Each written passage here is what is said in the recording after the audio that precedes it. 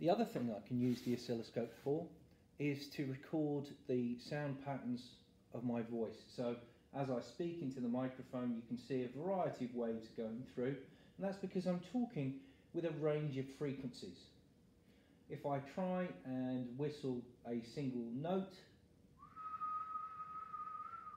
it gets closer to the waves that we're used to seeing but there's still harmonics there, there's still higher frequency versions. I can't do a single note the way that the tuning fork can. So if I go for a quiet sound, you can see that there's very little amplitude involved. Whereas if I shout, there's a much higher amplitude. Similarly, if I go for a low, low note, the wavelength is quite large, whereas if I whistle again, I'm quite high pitch.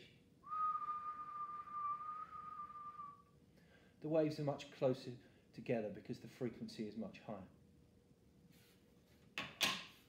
If I want to have a single note, I need to use something like a tuning fork. So let's try.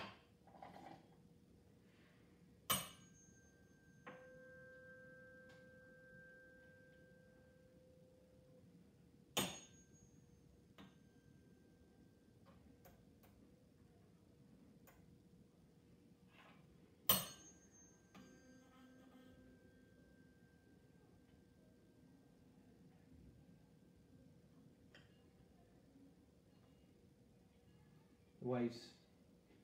Let's compare them with this higher pitch tuning fork.